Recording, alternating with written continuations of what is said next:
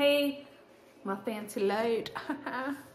okay, seriously. Um, so have you noticed that Ride the Wind's website has all the pricing listed and all the details?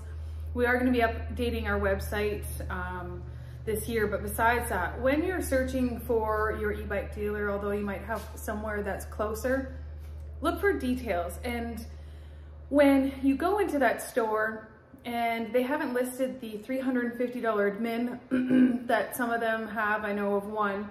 Um, those are things that should be disclosed. Um, there's no reason for us to hide anything. We want, obviously, we're doing all these videos. We want our customers customers to be um, as educated and knowledgeable as possible. We don't have anything to hide.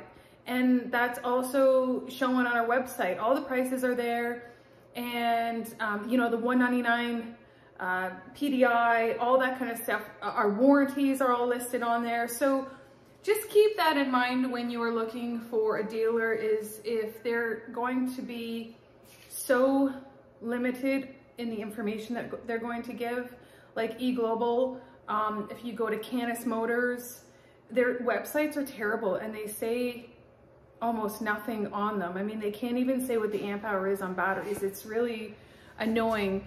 So Ride the Wind, we have everything on there and we're gonna have even more information on there because um, what you see is what you get. There are no surprises and we love what we do and, and uh, we want you to buy from us always. That's the whole point and, um, and we're a great dealer.